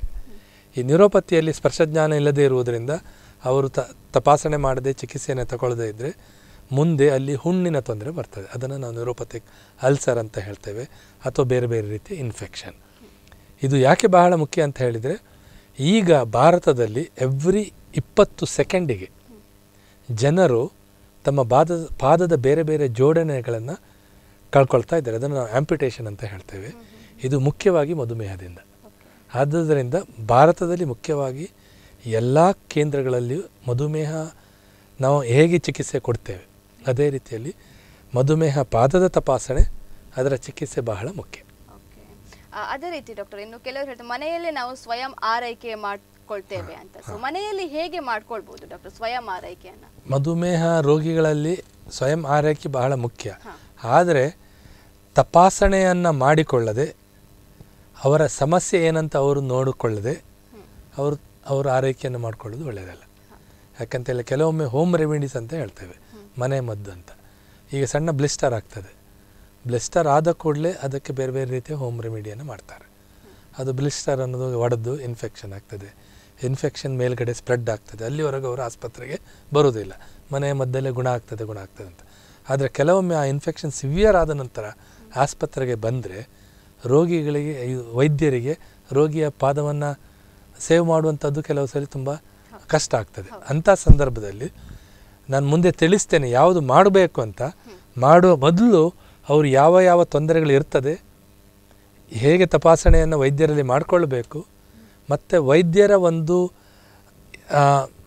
ಇನ್ಸ್ಟ್ರಕ್ಷನ್ಸ್ ಅಥವಾ ಮಾಹಿತಿಯ ಪ್ರಕಾರ ಮುಂದೆ ಮನೆಯಲ್ಲಿ ಏನು ಚಿಕಿತ್ಸೆ ಮಾಡಿಕೊಳ್ಬೇಕು ಅನ್ನೋದನ್ನು ನಾನು ಮುಂದೆ ತಿಳಿಸ್ತೇನೆ. ಓಕೆ ಡಾಕ್ಟರ್ ಅದೇ ರೀತಿ ಇನ್ನು ಕೆಲವೊಮ್ಮೆ ಪಾದದಲ್ಲಿ ಹುಣ್ಣುಗಳಾಗ್ತದೆ. ಸೊ ಪಾದದಲ್ಲಿ ಹುಣ್ಣುಗಳಾಗಿರುವ ಮಧುಮೇಹಗಳು ಏನು ಮಾಡಬೇಕು ಡಾಕ್ಟರ್ ಮಧುಮೇಹ ಡಯಾಬಿಟಿಕ್ ಫುಟ್ ಅಲ್ಸರ್ ಅಥವಾ ಮಧುಮೇಹ ಇದು ಹುಣ್ಣು ಅಂತ ಹೇಳ್ತೇವೆ. ಇದು ಕೂಡ ಈ ನ್ಯೂರೋಪತಿ ಇರುವವರಲ್ಲಿ ಸಾಮಾನ್ಯವಾಗಿ ಕಾಣಿಸಿಕೊಳ್ಳುವಂಥದ್ದು. ಹೆಚ್ಚಾಗಿ ಡಯಾಬಿಟಿಸ್ ಫುಟ್ ಅಥವಾ ಡಯ ಮಧುಮೇಹ ಪಾದದಲ್ಲಿ ನ್ಯೂರೋಪತಿಕ್ ಪಲ್ಸ್ ಅಲ್ಸರ್ ಅನ್ನೋದು ಜಾಸ್ತಿಯಾಗಿ ಕಾಣಿಸಿಕೊಳ್ತದೆ. ನ್ಯೂರೋಪತಿ ಅಲ್ಸರ್ ಒಂದಿಗೆ ಕೂಡ ಇಸ್ಕಿಮಿಕ್ ಅಲ್ಸರ್ ಅಂತ ಕೂಡ ಇರ್ತದೆ. ಇಸ್ಕಿಮಿಕ್ ಅಲ್ಸರ್ಸ್ ಅಂತ ಹೇಳಿದರೆ ಬ- ಅದು ರಕ್ತ ಸಂಚಾರ ಕಡಿಮೆಯಾಗಿ ಬರುವಂಥದ್ದು. ಮೊದಲನೇದಾಗಿ ರೋಗಿಗಳಿಗೆ ಅವರಿಗೆ ಯಾವ ರೀತಿಯ ಅಲ್ಸರ್ ಉಂಟು ಅನ್ನೋದನ್ನು ನೋಡ್ಕೊಳ್ಬೇಕು. ಅದು ನ್ಯೂರೋಪತಿಯಿಂದ ಬಂದಿದೆಯಾ ಅಥವಾ ವ್ಯಾಸ್ಕ್ಯುಲರ್ ರಿಲೇಟೆಡ್ ಅಂತ ಫಸ್ಟ್ ನಾವು ಅದನ್ನು ಪತ್ತೆ ಹಚ್ಚಬೇಕು ಅವರಿಗೆ ಆ ಮಾಹಿತಿಯನ್ನು ಕೊಡಬೇಕು. ಇದು ಯಾಕೆ ಮುಖ್ಯ ಅಂತ ಹೇಳಿದರೆ ನ್ಯೂರೋಪತಿ ಕಲ್ಸರ್ ಅನ್ನೋದನ್ನು ಸಾಮಾನ್ಯವಾಗಿ ನಾವು ವೆಯ್ಟ್ ಬ್ಯಾರಿಂಗ್ ಪಾಯಿಂಟಲ್ಲಿ ಬರ್ತದೆ. ಅಂದರೆ ನಡೆಯುವಾಗ ಪಾದದ ಬೇರೆ ಬೇರೆ ಜೋಡಣೆ ಅಲ್ಲಿ ಹೆಚ್ಚಿನ ಒತ್ತಡವನ್ನು ತಗೊಳ್ತಾರೆ. ಆ ಪಾ ಆ ಏರಿಯಾದಲ್ಲೇ ಅವರಿಗೆ ಸ್ಪರ್ಶಜ್ಞಾನ ಕಡಿಮೆ ಇರುವುದರಿಂದ ಅಲ್ಲಿ ಕ್ಯಾಲಸ್ ಆಗ್ತದೆ. ಕ್ಯಾಲಸ್ಸನ್ನು ಅವರು ಸರಿಯಾಗಿ ಗುರುತಿಸದೆ ಅಥವಾ ಚಿಕಿತ್ಸೆಯನ್ನು ಮಾಡಿಕೊಳ್ಳದೆ ಇದ್ದರೆ ಮತ್ತೆ ಹುಣ್ಣು ಬರ್ತದೆ. ಮತ್ತೆ ವ್ಯಾ ಆದರೆ ಆ ವ್ಯಾಸ್ಕ್ಯುಲರ್ ಅಥವಾ ರಕ್ತನಾಳಕ್ಕೆ ಸಂಬಂಧಪಟ್ಟಂಥದ್ದು ಸಾಮಾನ್ಯವಾಗಿ ಬೆರಳು ತುದಿಯಲ್ಲಿ ಕಾಣ್ತದೆ ಬೆರಳಿನ ವೆಬ್ ಸ್ಪೇಸಲ್ಲಿ ಕಾಣ್ತದೆ ಮತ್ತು ಕಲರ್ ವ್ಯತ್ಯಾಸ ಅದು ಭಾಳ ಮುಖ್ಯ. ನ್ಯೂರೋಪತಿಕ್ ಅಲ್ಸರಲ್ಲಿ ಈ ಸ್ಕಿನ್ನಿನ ಕ- ಬದಲಾವಣೆಗಳೆಲ್ಲ ಹೆಚ್ಚಾಗುವುದಿಲ್ಲ. ಕಪ್ಪು ರೀತಿಯಲ್ಲಿ ತೊಂದರೆ ಬರುವುದಿಲ್ಲ. ಆದರೆ ವ್ಯಾಸ್ಕ್ಯುಲರ್ ಇದರಲ್ಲಿ ಆ ಕಿಸ್- ಬೆರಳಿನ ಬಣ್ಣವು ಕೂಡ ವ್ಯತ್ಯಾಸ ಕಂಡಿರ್ತದೆ. ಯಾಕಂದರೆ ರಕ್ತ ಸಂಚಾರ ಕಡಿಮೆ ಆದಾಗ ಸ್ಕಿನ್ ಕಲರ್ ಕೂಡ ಚೇಂಜ್ ಆಗ್ತದೆ. ಅದನ್ನು ಅವರು ಮೊದಲು ಅರಿವು ಮಾಡ್ಕೊಳ್ಬೇಕು. ಅವರಿಗೆ ಬಂದಿರುವಂಥದ್ದು ಅಲ್ಸರು ನ್ಯೂರೋಪತಿಕ್ ರಿಲೇಟೆಡ್ ಅಥವಾ ಇಸ್ಕಿಮಿಕ್ ರಿಲೇಟೆಡ್ ಅಂತ. ನ್ಯೂರೋಪತಿ ಅಲ್ಸರ್ ಅಂತ ಹೇಳಿದರೆ ಒಂದು ಸಿಂಪಲ್ ಮಾಹಿತಿ ಅವರಿಗೆ ನಾನು ಆರಂಭದಲ್ಲಿ ಕೊಡು ಕೊಡುವಂಥದ್ದು ಏನಂತ ಹೇಳಿದರೆ ನ್ಯೂರೋಪತಿ ಅಲ್ಸರ್ ಇರುವವರು ಮನೆಯ ಒಳಗೆ ಅಥವಾ ಹೊರಗೆ ಬರೇ ಪಾದದಲ್ಲಿ ನಡಿಬಾರ್ದು. ಆಫ್ಲೋಡಿಂಗ್ ಆಫ್ ಲೋಡಿಂಗ್ ಅನ್ನುವಂಥದ್ದು the gold standard for the neuropathic ulcer ನಾವು ಆ ಜಾಗದಲ್ಲಿ ಎಲ್ಲಿ ಅಲ್ಸರ್ ಉಂಟು, ಅಲ್ಲಿ ಒತ್ತಡವನ್ನು ನಾವು ಕಡಿಮೆ ಮಾಡಬೇಕು. ಆಗ ಅಲ್ಸರ್ ಅಥವಾ ಹುಣ್ಣು ಗುಣ ಆಗಲಿಕ್ಕೆ ಬಹಳ ಹೆಚ್ಚಿನ ಒಂದು ನಾವು ಅವಕಾಶ ಅಥವಾ ಇದನ್ನು ಕೊಡ್ತೇವೆ. ಈ ಬೇರೆ ಏನೇ ನೀವು ಟ್ರೀಟ್ಮೆಂಟ್ ಮಾಡ್ಕೊಳ್ಳಿ, ಅದಕ್ಕೆ ಡೈಲಿ ಡ್ರೆಸ್ಸಿಂಗ್ ಮಾಡ್ಕೊಳ್ಳಿ, ಇದು ಮಾಡ್ಕೊಳ್ಳಿ, ಆ ಒತ್ತಡವನ್ನು ಅವರು ಕಡಿಮೆ ಮಾಡ್ಕೊಳ್ಳದಿದ್ದರೆ ನ್ಯೂರೋಪತಿ ಅಲ್ಸರ್ ಕಡಿಮೆ ಆಗೋದಿಲ್ಲ. ಡಾಕ್ಟರ್ ಅವರಿಗೆ ಫುಟ್ವೇರ್ ಏನಾದರೂ ಅದರ ಬಗ್ಗೆ ಮುಂದೆ ನಾನು ಮಾಹಿತಿಯನ್ನು ಕೊಡ್ತೇನೆ. ಬೇರೆ ಬೇರೆ ರೀತಿ ಯಾವ ರೀತಿಯ ಫುಟ್ವೇರನ್ನು ಹಾಕೊಳ್ಬೇಕು ಏನೆಲ್ಲ ಮಾಡಬೇಕು ಅನ್ನೋದ್ರ ಬಗ್ಗೆ ಯಾವ ಯಾವ ರೀತಿಯ ತಪಾಸಣೆಯನ್ನು ಮಾಡಿ ಮತ್ತೆ ಯಾವ ರೀತಿಯ ಪಾದದ ಪಾದರಕ್ಷೆ ಅಥವಾ ಫುಟ್ವೇರನ್ನು ಕೊಡಬೇಕು ಅನ್ನೋದ್ರ ಬಗ್ಗೆ ಕೂಡ ನಾನು ಹೇಳ್ತೇನೆ ಅದು. ಈಗ ಒಂದು ಸಿಂಪಲ್ ಆಗಿ ನಾನು ಏನಂತ ಹೇಳಿದರೆ ಮಧುಮೇಹ ರೋಗಿಗಳು ಅವರಿಗೆ ಪಾದದಲ್ಲಿ ಹುಣ್ಣು ಇದ್ದರೆ ಬರೇ ಕಾಲಲ್ಲಿ ನಡಿಬಾರ್ದು. ಅದು ಬಹಳ ಮುಖ್ಯ. ನೀವು ಬೇರೆ ಏನು ಟ್ರೀಟ್ಮೆಂಟ್ ಮಾಡಿ. ಡೈಲಿ ನಾವು ಹೇಳ್ತಾರೆ ನಾವು ಡ್ರೆಸ್ಸಿಂಗ್ ಮಾಡ್ಕೊಳ್ತೇನೆ ಅದು ಆ ರೀತಿಯದ್ದು ಡ್ರೆಸ್ಸಿಂಗ್ ಮಾಡಿದ್ದೇನೆ ಈ ರೀತಿಯ ಡ್ರೆಸ್ಸಿಂಗ್ ಮಾಡಿದ್ದೇನೆ. ಬಟ್ ಮನೆಯಲ್ಲಿ ನಡೆಯುವಾಗ ಬರೀ ಕಾಲಲ್ಲಿ ನಡೀತಾರೆ. ಅದು ಗಾಯ ಗುಣ ಆಗುವುದಿಲ್ಲ. ಅದರಿಂದ ಇದು ಒಂದು ಇಂಪಾರ್ಟೆಂಟ್ ಮೆಸೇಜನ್ನು ರೋಗಿಗಳು ನೆನ್ಪಿಟ್ಕೊಳ್ಬೇಕು. ಖಂಡಿತ ಹೌದು. ಡಾಕ್ಟರ್ ಇನ್ನು ಮಧುಮೇಹ ಪಾದದ ತೊಂದರೆಗಳಿರುವವರು. ಸೊ ಅವರು ಆಸ್ಪತ್ರೆಯಲ್ಲಿ ತಪಾಸಣೆ ಮತ್ತೆ ಚಿಕಿತ್ಸೆಯನ್ನ ಹೇಗೆ ಪಡೆಯಬಹುದು ಅಂತ? ಮಧುಮೇಹ ಪಾದದ ತಪಾಸಣೆ ಮುಖ್ಯವಾಗಿ ನಾವು ನ್ಯೂರೋಪತಿ ವ್ಯಾಸ್ಕ್ಯುಲರ್ ಮತ್ತು ಬಯೋಮೆಕ್ಯಾನಿಕಲ್ ಅಥವಾ ಮಸ್ಕ್ಯುಲೋಸ್ಕೆಲಿಟಲ್ ತಪಾಸಣೆಯನ್ನು ಮಾಡ್ತೇವೆ. ನ್ಯೂರೋಪತಿಯಲ್ಲಿ ಇಲ್ಲಿ ಒಂದು ರೋಗಿಗಳಿಗೆ ಕೂಡ ಈ ಒಂದು ಮಾಹಿತಿಯನ್ನು ಕೊಡಲಿಕ್ಕೆ ಇಷ್ಟಪಡ್ತೇನೆ. ಸಾಮಾನ್ಯವಾಗಿ ನರದಲ್ಲಿ ಲಾರ್ಜ್ ಫೈಬರ್ ಅಥವಾ ಸ್ಮಾಲ್ ಫೈಬರ್ ಅಂತ ಹೇಳ್ತೇವೆ. ಮಧುಮೇಹ ರೋಗಿಗಳಲ್ಲಿ ಇದು ಎರಡೂ ವಿಧದ ನರ್ವ್ ಫೈಬರ್ಸ್ ಎಫೆಕ್ಟ್ ಆಗ್ತದೆ. ಲಾರ್ಜ್ ಫೈಬರ್ಸ್ ಅಂತ ಹೇಳಿದಾಗ ನಾವು ಅದು ಪ್ರೊಟೆಕ್ಟಿವ್ ಸೆನ್ಸೇಷನ್ ಅಥವಾ ವೈಬ್ರೇಟರಿ ಸೆನ್ಸೇಷನ್ಸ್ ಬಗ್ಗೆ ಹೆಚ್ಚಿನ ಸಮಸ್ಯೆಗಳು ಕಾಣಿಸಿಕೊಳ್ತದೆ. ಮತ್ತು ಸ್ಮಾಲ್ ಫೈಬರ್ಸ್ ಇರುವಾಗ ನೋವು ಮತ್ತು ಇದು ಟೆಂಪರೇಚರ್ ಆ್ಯಂಡ್ ಪೇಯ್ನ್ ಅಂತ. ಲಾರ್ಜ್ ಫೈಬರಲ್ಲಿ ನೀವು ನಮ್ಮ ಪಿ ಪಿ ಟಿಯಲ್ಲಿ ಕೂಡ ರೋಗಿಗಳು ನೋಡ್ಬೋದು. ಒಂದು ಮಾನೋಫಿಲಮೆಂಟ್ ಟೆಸ್ಟ್ ಅಂತ ಉಂಟು. ಇದನ್ನು ನಾನು ಯಾಕೆ ಹೇಳ್ತಾ ಇದ್ದೇನೆ ಅಂತ ಹೇಳಿದರೆ ಈ ಒಂದು ವಿಚಾರವನ್ನು ಸಾಧಾರಣವಾಗಿ ಬೇರೆ ರೀತಿಯ ಹೆಲ್ತ್ ವರ್ಕರ್ಸ್ ಬೇರೆ ಬೇರೆ ಕಡೆಯಲ್ಲಿ ನೋಡಿದರೂ ಕೂಡ ಅವರು ಅವರ ಸೆಂಟರಲ್ಲಿ ಒಂದು ಸಿಂಪಲ್ ಆದ ತಪಾಸಣೆಯನ್ನು ಮಾಡಲಿಕ್ಕೆ ಸಾಧ್ಯ. ಒಂದು ಟೆನ್ ಗ್ರಾಮ್ ಆಫ್ ಮಾನೋಫಿಲಮೆಂಟ್ ಅಂತ ನಾವು ಹೇಳ್ತೇವೆ. ಅದನ್ನು ಪಾದದ ಐದು ಅಥವಾ ಆರು ಪಾಯಿಂಟ್ ಅಂತ ಉಂಟು. ಪಾದದ ಪ್ಲಾಂಟರ್ ಸರ್ಫೇಸಿನ ಒಂದು ಮುಂಭಾಗ ಮತ್ತು ಹಿಂಭಾಗದ ಪಾದದಲ್ಲಿ ಆರು ಪಾಯಿಂಟ್ ಉಂಟು. ಅಲ್ಲಿ ನಾವು ರೋಗಿಗಳಿಗೆ ಅಥವಾ ನಾವು ತಪಾಸಣೆ ಮಾಡುವಾಗ ನಾವು ಚ ಎಷ್ಟು ಸ್ಪರ್ಶ ಜ್ಞಾನ ಉಂಟು ಅಂತ ನೋಡ್ತೇವೆ. ಆ ಟೆನ್ ಗ್ರಾಮ್ ಪ್ರೆಷರನ್ನು ಅಪ್ಲೈ ಮಾಡಿದಾಗ ರೋಗಿ ಆ ಒಂದು ನೈಲ್ ಕಂಪ್ಲೀಟ್ ಬೆಂಡಾದಾಗ ಕೂಡ ಅವರಿಗೆ ಏನೂ ಅರಿವು ಆಗಲಿಲ್ಲ ಅಂತ ಹೇಳಿದರೆ ಅವರದ್ದು ಆ ಸೆನ್ಸರಿ ಅನ್ನುವಂಥದ್ದು ಕಂಪ್ಲೀಟ್ ತೊಂದರೆ ಆಗಿದೆ. ಕೆಲವೊಮ್ಮೆ ಅದು ಪ್ರೆಷರ್ ಅಪ್ಲೈ ಮಾಡಿ ಅದು ಬೆಂಡ್ ಆಗುವಾಗ ಅವ್ರು ಹೇಳ್ತಾರೆ, ನನಗೆ ಗೊತ್ತಾಗ್ತದೆ ಅಂತ. ಅಂತ ಆವಾಗ ಅವರಿಗೆ ಮಾಡ್ರೇಟ್ ಲೆವೆಲ್ ಆಫ್ ನ್ಯೂರೋಪತಿಯ ತೊಂದರೆ ಉಂಟು ಅಂತ ನಾವು ಹೇಳ್ಬೋದು. ಮತ್ತು ಕೆಲವೊಮ್ಮೆ ಚ ಟಚ್ ಮಾಡಿದಾಗ ಗೊತ್ತಾಗ್ತದೆ. ಅದು ಆವಾಗ ನಾರ್ಮಲ್ ಅಂತ ಕೂಡ ನಾವು ಹೇಳ್ತೇವೆ. ಇದು ಒಂದು ಸಿಂಪಲ್ ಟೆಸ್ಟ್ ವೆದರ್ ಸ್ಪರ್ಶ ಜ್ಞಾನ ಮಧುಮೇಹ ರೋಗಿಗಳಲ್ಲಿ ಉಂಟು ಅಥವಾ ಇಲ್ಲ ಅನ್ನೋದನ್ನು ನೋಡಿ ಪಾದದಲ್ಲಿ ಎರಡು ಪಾದದಲ್ಲಿ ಚೆಕ್ ಮಾಡಬೇಕಾಗ್ತದೆ. ಎರಡು ಪಾದದ ಎಲ್ಲ ಆ ಪಾಯಿಂಟ್ ನಾನು ಹೇಳಿದ್ದನ್ನು ಅದರಲ್ಲಿ ಮಾಡಬೇಕಾಗ್ತದೆ. ಕೆಲವೊಮ್ಮೆ ಒಂದು ಪಾಯಿಂಟಲ್ಲಿ ಕೂಡ ತೊಂದರೆ ಇದ್ದರೆ ಕೂಡ ನಾವು ಅದಕ್ಕೆ ಸೂಕ್ತವಾದ ಚಿಕಿತ್ಸೆಯನ್ನು ಕೊಡಬೇಕಾಗ್ತದೆ. ಇದು ಒಂದು ಸಿಂಪಲ್ ಮಾನೋ ಪ್ರೊಟೆಕ್ಟಿವ್ ಸೆನ್ಸೇಷನ್ಸ್ ಅಂತ. ಮತ್ತು ಎರಡನೇದಾಗಿ ಅವರಿಗೆ ಟೆಂಪರೇಚರ್ ವೇರಿಯೇಷನ್ ಬಿಸಿ ತಂಪು ಇದರ ಬಗ್ಗೆ ವ್ಯತ್ಯಾಸ ಗೊತ್ತಾಗ್ತದೆ ಅಂತ ಕೇಳ್ಕೊಳ್ಬೇಕಾಗ್ತದೆ. ಮತ್ತು, ವ್ಯಾಸ್ಕ್ಯುಲರ್ ಇದರಲ್ಲಿ ನಾವು ಸಾಮಾನ್ಯವಾಗಿ ಪಲ್ಸನ್ನು ಚೆಕ್ ಮಾಡಬೇಕು. ಯಾಕಂದರೆ ಪಲ್ಸನ್ನು ಚೆಕ್ ಮಾಡುವಾಗ ಕೈಯ ರೇಡಿಯಲ್ ಆಟ್ರಿ ಮತ್ತು ಪೊಸ್ಟಿರೇಟಿಬಿಯಲ್ ಆಟ್ರಿಯ ವ್ಯತ್ಯಾಸವನ್ನು ಕೂಡ ನೋಡಬೇಕು. ಆಗ ರಕ್ತ ಸಂಚಾರ ಪಾದಕ್ಕೆ ಎಷ್ಟು ಉಂಟು, ಎಷ್ಟು ಕಡಿಮೆ ಆಗಿದೆ ಅನ್ನೋದ್ರ ಬಗ್ಗೆ ನಮಗೆ ಅರಿವು ಸಿಗ್ತದೆ. ಮತ್ತು ಮೂರನೇದಾಗಿ, ನಮ್ಮ ಪವರ್ ಪಾಯಿಂಟಲ್ಲಿ ತೋರಿಸಿದ ಹಾಗೆ ಕೂಡ ಪ್ಲಾಂಟರ್ ಪ್ರೆಷರನ್ನು ನೋಡುವಂಥದ್ದು. ಇದು ಬಹಳ ಮುಖ್ಯ. ಪ್ಲಾಂಟರ್ ಪ್ರೆಷರನ್ನು ನೋಡಿದಾಗ ನಾ, ಸಾಮಾನ್ಯವಾಗಿ ನಾವು ವ್ಯಕ್ತಿ ನಿಲ್ಲುವಾಗ ಮತ್ತು ನಡೆದಾಡುವಾಗ ಹಿಂಬದಿಯ ಭಾಗ ಭಾಗ ಅಥವಾ ಹೀಲ್ ಅಂತ ಹೇಳ್ತೇವೆ. ಇಲ್ಲಿ ಸಾಧಾರಣ ನಾವು ಒಂದು ನಲವತ್ತೊಂಬತ್ತರಿಂದ ಐವತ್ತು ಪರ್ಸೆಂಟ್ ಭಾರವನ್ನು ಕೊಡ್ತೇವೆ. ಮತ್ತು ಆರ್ಚಿಗೆ ಓನ್ಲಿ ಐದು ಪರ್ಸೆಂಟ್. ಮುಂಭಾಗಕ್ಕೆ ರಿಮೈನಿಂಗ್ ಪಾದ ಇದನ್ನು ಕೊಡ್, ಲೋಡನ್ನು ಕೊಡ್ತೇವೆ. ನಿಲ್ಲುವಾಗ ಅಥವಾ ನಡೆಯುವಾಗ. ಮಧುಮೇಹ ರೋಗಿಗಳಲ್ಲಿ ಏನಾಗ್ತದೆ ಅಂತ ಹೇಳಿದರೆ ಸ್ಪರ್ಶಜ್ಞಾನ ಇರುವುದಿಲ್ಲ. ಅವರಿಗೆ ಆದ್ದರಿಂದ ಮುಂದೆ ಎಷ್ಟು ಒತ್ತಡ ಕೊಡ್ತೇವೆ?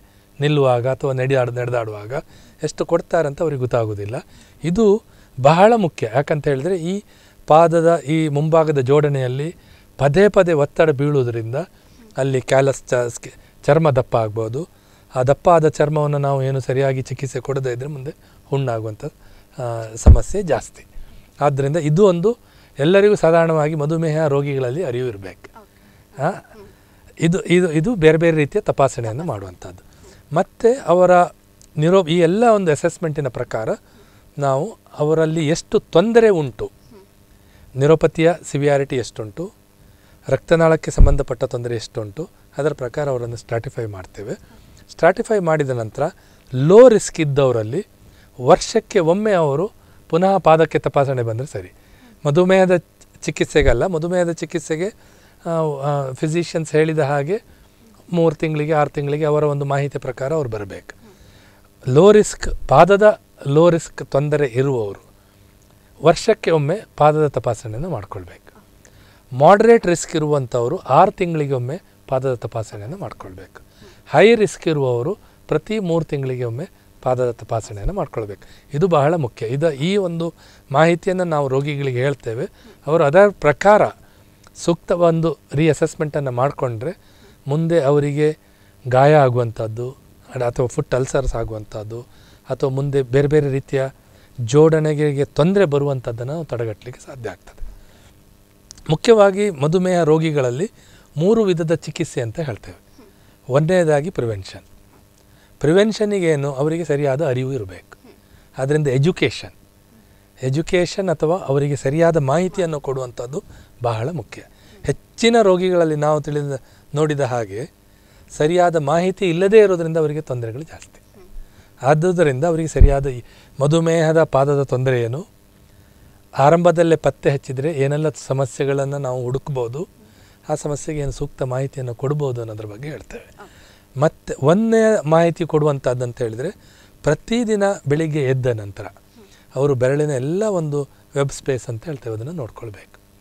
ಕೆಲವೊಮ್ಮೆ ಏಜ್ ಇರ್ತಾರೆ, ವಿಷನ್ ಸ್ವಲ್ಪ ತೊಂದರೆ ಇರ್ತದೆ ಅಂಥವರಲ್ಲಿ ಒಂದು ಮಿರರನ್ನು ಇಟ್ಟು ಪಾದದ ಒಂದು ಮಿರರನ್ನು ಹಿಡಿದು ನೋಡ್ಬೋದು. ಪಾದದಲ್ಲಿ ಏನಾದರೂ ಕೆಂಪಾಗಿದೆಯಾ? ಅಥವಾ ಏನಾದರೂ ಕಲರ್ ಚೇಂಜ್ ಆಗಿದೆಯಾ? ಇದನ್ನು ರೆಗ್ಯುಲರ್ ನೋಡ್ಕೊಳ್ಬೇಕು. ಇದು ಯಾಕಂತ ಹೇಳಿದರೆ ನಾವು ಸಾಮಾನ್ಯವಾಗಿ ನಮ್ಮ ಸಂಸ್ಕೃತಿಯ ಪ್ರಕಾರ ನಾವು ಹೇಳ್ತೇವೆ ಬೆಳಿಗ್ಗೆ ಎದ್ದ ಕೂಡಲೇ ಮುಖ ನೋಡಬೇಕು ಅಂತ. ಅದು ಅದೇ ರೀತಿಯಲ್ಲಿ ಮಧುಮೇಹ ರೋಗಿಗಳು ಪಾದವನ್ನು ನೋಡ್ಕೊಳ್ಬೇಕಾಗ್ತದೆ. ಏನಾದರೂ ತೊಂದರೆ ಇದ್ದಲ್ಲಿ ಅವರನ್ನು ಸೂಕ್ತವಾದ ವೈದ್ಯರನ್ನು ಮೆ ಕೂಡಲೇ ಸಂಪರ್ಕಿಸಿದರೆ ಅದಕ್ಕೆ ಸರಿಯಾದ ಚಿಕಿತ್ಸೆಯನ್ನು ಪಡಿಬೋದು. ಎಜುಕೇಷನ್ಸ್ ಇದು ಒನ್ ಕಾಂಪನೆಂಟ್ ಎರಡನೇ ಥಿಂಗ್ ಅವರಿಗೆ ನೋವು ಇದ್ದಲ್ಲಿ, ಮುಖ್ಯವಾಗಿ ಮಧುಮೇಹ ರೋಗಿಗಳಲ್ಲಿ ನಿರೋಪತಿ ಇದ್ದಾಗ ನಾವು ರಕ್ತ ಸಂಚಾರವನ್ನು ಜಾಸ್ತಿ ಮಾಡಿದರೆ, ಆ ನಿರೋಪತಿಯ ಸಿವಿಯಾರಿಟಿಯನ್ನು ಕಡಿಮೆ ಮಾಡ್ಬೋದು. ನಮ್ಮ ಒಂದು ಸಂಸ್ಥೆಯ ಒಂದು ಸಂಶೋಧನೆ ಪ್ರಕಾರ, ಲೋ ಅಥವಾ ಮಾಡರೇಟ್ ನಿರೋಪತಿ ಇದ್ದರೆ ನಾವು ಮೈಕ್ರೋ ಸರ್ಕ್ಯುಲೇಷನ್ಸನ್ನು ಜಾಸ್ತಿ ಮಾಡಿದರೆ, ಆ ರಿವರ್ಸಿಬಿಲಿಟಿ ಆ ನರ್ವಿನಲ್ಲಿ ಏನು ತೊಂದರೆ ಆಗ್ತದೆ, ಅದನ್ನು ತಡೆಗಟ್ಟಲಿಕ್ಕೆ ಸಾಧ್ಯ ಆಗ್ತದೆ. ಆದ್ದರಿಂದ ಅದಕ್ಕೆ ನಮ್ಮಲ್ಲಿ ಒಂದು ವಿಧದಲ್ಲಿ ಅಂತ ಹೇಳಿದರೆ ಲೇಸರ್ ಥೆರಪಿ ಅಂತ ಹೇಳ್ತೇವೆ. ಇದು ಮುಖ್ಯವಾಗಿ ಲೇಸರ್ ಥೆರಪಿಯಿಂದ ಪಾದದ ರಕ್ತ ಸಂಚಾರವನ್ನು ಜಾಸ್ತಿ ಮಾಡ್ತೇವೆ. ಒಮ್ಮೆ ಪಾದದ ರಕ್ತ ಸಂಚಾರವನ್ನು ಜಾಸ್ತಿ ಮಾಡಿದಾಗ ಆ ನರಗಳಿಗೆ ಕೂಡ ಆಟೋಮ್ಯಾಟಿಕಲಿ ರಕ್ತ ಸಂಚಾರ ಜಾಸ್ತಿ ಆಗ್ತದೆ. ಆಗ ನೋವಿನ ತೊಂದರೆ ಇರ್ಬೋದು. ಬೇರೆ ಬೇರೆ ರೀತಿಯ ಮಧುಮೇಹ, ಪಾದದ ನಿರೋಪತಿಯಿಂದ ಬಂದಂತಹ ಲಕ್ಷಣಗಳನ್ನು ನಾವು ಕಡಿಮೆ ಮಾಡಲಿಕ್ಕೆ ಸಾಧ್ಯ. ಇದು ಎರಡನೇ ರೀತಿಯ ಚಿಕಿತ್ಸೆ. ಮೂರನೆಯದಾಗಿ ಅವರಿಗೆ ಸರಿಯಾದ ಪಾದರಕ್ಷೆ ಅಥವಾ ಫುಟ್ವೇರ್ ಈ ಫುಟ್ವೇರ್ ಕೊಡುವಾಗ ಕೂಡ ನಾವು ಸಾಮಾನ್ಯವಾಗಿ ನೀವು ಜಸ್ಟ್ ಒಂದು ಫುಟ್ವೇರ್ ತಗೊಳ್ಳಿ ಅಂತ ಹೇಳಲಿಕ್ಕೆ ಆಗೋದಿಲ್ಲ. ತಪಾಸಣೆಯನ್ನು ಮಾಡಿ ಯಾವ ಏರಿಯಾದಲ್ಲಿ ಅವರು ಜಾಸ್ತಿ ಒತ್ತಡ ಕೊಡ್ತಾ ಇದ್ದಾರೆ. ಅದನ್ನು ನಾವು ಕಸ್ಟಮೈಸ್ಡ್ ಫುಟ್ವೇರ್ ಅಂತ ಹೇಳ್ತೇವೆ. ಕಸ್ಟಮೈಸ್ಡ್ ಅಂದರೆ ಎವ್ರಿ ಫು ಪೇಷಂಟ್ ಆ್ಯಡ್ ಡಿಫರೆಂಟ್ ಪ್ರೆಸೆಂಟೇಷನ್ಸ್ ಅಥವಾ ಮ್ಯಾನಿಫೆಸ್ಟೇಷನ್ ಅಂಥ ಸಂದರ್ಭದಲ್ಲಿ ಆ ಪಾದದ ಯಾವ ಭಾಗಕ್ಕೆ ಹೆಚ್ಚಿನ ಒತ್ತಡ ಕೊಡ್ತಾರೆ ಅಂಥ ಭಾಗದಲ್ಲಿ ನಾವು ವೆಯ್ಟ್ ರಿಲೀವಿಂಗ್ ಮೆಕ್ಯಾನಿಸಮ್ಸನ್ನು ಮಾಡಬೇಕು. ಅವರಿಗೆ ಆ ಜಾಸ್ ಜಾಗದಲ್ಲಿ ಜಾಸ್ತಿ ನಡೆಯುವಾಗ ಒತ್ತಡ ಕೊಡದೇ ಇದ್ದ ಹಾಗೆ ನೋಡ್ಕೊಳ್ಬೇಕು. ಇದು ಒಂದು ಪಾದರಕ್ಷದ ಇದರಲ್ಲಿ. ಮತ್ತು ಮು, ಮುಖ್ಯವಾಗಿ ಮಧುಮೇಹ ರೋಗಿಗಳಲ್ಲಿ ಮುಂದೆ ಪೋಸ್ಟೀರ ಸ್ಟ್ರ್ಯಾಪ್ ಅಂತ ಹೇಳ್ತೇವೆ. ಅಂತಹ ಚಪ್ಪಲನ್ನು ಹಾಕ್ಕೊಳ್ಳೋದು ಒಳ್ಳೆಯದು ಯಾಕಂದರೆ ಪಾದದ ನ ನಿರೋಪತಿ ಇರುವುದರಿಂದ ಫೋರ್ ಫುಟ್ಟಲ್ಲಿ ಸ್ಲಿಪ್ಪರಲ್ಲಿ ಹಾಕಿದರೆ ಅವರಿಗೆ ನಡೆಯುವಾಗ ಗ್ರಿಪ್ ಇರುವುದಿಲ್ಲ. ಆಗ ಫುಟ್ ಜಾರ್ತದೆ ಅಂತ ಹೇಳ್ತಾರೆ. ಆದ್ದರಿಂದ ಅವರಿಗೆ ನಡೆಯುವಾಗ ಕಂಫರ್ಟ್ ಇರಲಿಕ್ಕೆ ಅಥವಾ ಒಂದು ಒಳ್ಳೆಯ ಗ್ರಿಪ್ ಬರಲಿಕ್ಕೆ ಪೋಸ್ಟೀರಿಯರ್ ಸ್ಟ್ರಾಪ್ ಇರುವಂಥ ಎಂ ಸಿ ಪಿ ಫುಟ್ವೇರ್ ಅಂತ ಹೇಳ್ತೇವೆ. ಅಂತ, ಅದು ಅಂಥ ಫುಟ್ವೇರನ್ನೇ ಅವರು ಹಾಕುವಂಥದ್ದು ಒಳ್ಳೆಯದು ಮತ್ತು ಫುಟ್ವೇರ್ ಹಾಕೊಳ್ಳುವಾಗ ಕೂಡ ಅವರು ಅಥವಾ ಅಥವಾ ಅವರು ಬೇರೆ ರೀತಿಯ ಫುಟ್ವೇರನ್ನು ಬೈ ಮಾಡಬೇಕಂತಿದ್ದರೆ ಸಂಜೆ ಸಮಯದಲ್ಲಿ ಮಾಡುವಂಥದ್ದು ಒಳ್ಳೆಯದು ಯಾಕಂತ ಹೇಳಿದರೆ ದೇಹದ ಇದು ಡೈಲಿ ಆ್ಯಕ್ಟಿವಿಟಿಯಲ್ಲಿ ಪಾದದಲ್ಲಿ ಸಮ್ ಅಮೌಂಟ್ ಆಫ್ ಇದು ಎಡಿಮಾ ಎಲ್ಲ ಬರ್ತದೆ. ನೀವು ಬೆಳಿಗ್ಗೆ ಫುಟ್ವೇರ್ ತಗೊಂಡ್ರೆ ಸಂಜೆ ನಡೆಯುವಾಗ ಆ ಎಡಿಮಾ ಎಲ್ಲ ಬಂದರೆ ಆಗ ಫುಟ್ವೇರ್ ಸಂಜೆ ಸಮಯದಲ್ಲಿ ಹೆಚ್ಚಿನ ಒತ್ತಡ ಕೊಡುವ ಸಾಧ್ಯತೆ ಇರ್ತದೆ. ಅಂಥ ಸಂದರ್ಭದಲ್ಲಿ ಸಂಜೆ ತಗೊಳ್ಳುವಂಥದ್ದು ಒಳ್ಳೆಯದಂತ ಹೇಳ್ತೇವೆ. ಮತ್ತು ಫುಟ್ವೇರನ್ನು ಸಮಸ್ಯೆಯ ಪ್ರಕಾರ ನಾವು ಅವರಿಗೆ ಮಾಹಿತಿಯನ್ನು ಕೊಡ್ತೇವೆ. ನೀವು ಯಾವಾಗ ಫುಟ್ವೇರನ್ನು ಎಷ್ಟು ಸಮಯ ಯೂಸ್ ಮಾಡಬೇಕು ದಿನದಲ್ಲಿ ಯಾವ್ಯಾವ ಕಡೆ ಹಾಕ್ಕೊಳ್ಬೇಕು ಇದರ ಬಗ್ಗೆ ಹೆಚ್ಚಿನ ಒಂದು ಮಾಹಿತಿಯನ್ನು ಕೊಡ್ತೇವೆ. ಮತ್ತು ಸ್ವಯಂ ಆರೈಕೆ ಬಗ್ಗೆ ನಾನು ಮತ್ತೆ ಹೇಳ್ತೇನೆ. ಮನೆಯಲ್ಲಿ ಏನು ಮಾಡಬಹುದು ಇವಿಷ್ಟು ತಪಾಸಣೆ ಮತ್ತು ಚಿಕಿತ್ಸೆಯ ಬಗ್ಗೆ ಆಯ್ತು. ಈಗ ನನ್ನ ಮುಂದಿನ ಪ್ರಶ್ನೆ ಕೂಡ ಸ್ವಯಂ ಆರೈಕೆಯ ಬಗ್ಗೆನೇ ಇದ್ದಿತ್ತು ಸೊ ಮನೆಯಲ್ಲಿ ಅವರು ಹೇಗೆ ಡಾಕ್ಟರ್ ಮಾಡ್ಕೊಳ್ಬಹುದು ಒಮ್ಮೆ ಅವರ ಡಯಾಬಿಟಿಕ್ ಫುಟ್ ಯಾವ ಸಮಸ್ಯೆ ಎಷ್ಟು ಉಂಟು ಅಂತ ನಾವು ಅವರಿಗೆ ಮಾಹಿತಿ ಕೊಟ್ಟ ನಂತರ ಈ ಮೂರು ವಿಚಾರವನ್ನು ಅವರು ಸಂಪೂರ್ಣವಾಗಿ ಫಾಲೋ ಮಾಡಬೇಕು. ಎಜುಕೇಷನ್ ಅಥವಾ ಸರಿಯಾದ ಮಾಹಿತಿ ನೋವಿನಿಗೆ ಸಂಬಂಧಪಟ್ಟಂಥ ಚಿಕಿತ್ಸೆ ಮತ್ತು ಸರಿಯಾದ ಫುಟ್ವೇರ್ ಇದು ಬಹಳ ಮುಖ್ಯ.